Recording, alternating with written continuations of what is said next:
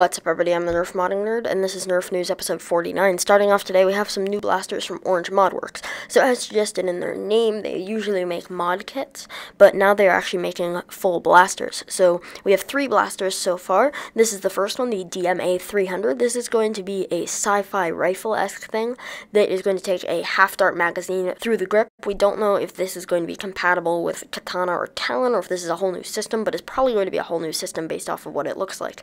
This is probably going to be flywheel, and as it is clearly electronic, it has some LEDs in it, and it has a built-in ammo counter, and it is a single trigger, not a rev and then a primary trigger. Next up is another new blaster from Orange Modworks, and this is another sci-fi-esque blaster. This is the Cybertech Corp, which is clearly designed after sci-fi, and this looks kind of like a sci-fi P90. These are going to be available in white, orange, and pink so far, and maybe some more, and this is going to take a half-dart magazine through the front, which can also be doubled as a grip. It has a thumbhole stock that looks pretty small, and other than that, it also looks flywheel, as it has built-in LEDs and a single trigger gun, and no obvious ways to prime it, so it is most likely going to be flywheel.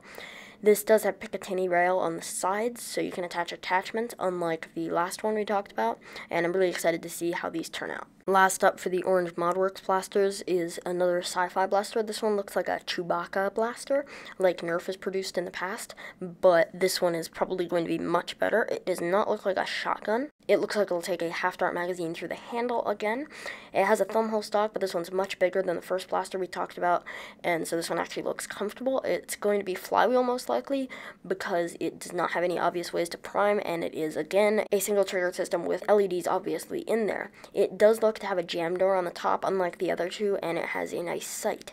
I don't know when these are going to be coming out or how much they're going to be coming out for, but at Ragnar Oktoberfest 2019, in about a month's time, these will be debuting, so they will be able to use them there. I don't think they're going to be able to buy them at Ragnarocktoberfest, but they may, so I'll let you know if I found out more information. Next up, we have a new Stryfe kit by Eric1218. It's the UMP kit. This is available on Thingiverse now, and it's fully 3D printed minus the screws and stuff. I think this thing looks pretty cool, and you can print it in whatever colors you want since it is 3D printed, obviously. The files are available on Thingiverse right now, and I'll leave a link to that in the description if you want to go look at that. And it does also have a list of all the different screws that you need for this. So definitely check that out if you're interested. And last up for today, we have a new Caliburn, and this is a double-barreled Caliburn. It is made by Captain Slug, as of all the other Caliburns, and this has a double magwell, and then it is primed via one handle, and it has one trigger and stuff like that, but it has two barrels, two magwells, so it's going to shoot two darts at once, so it's effectively a shotgun.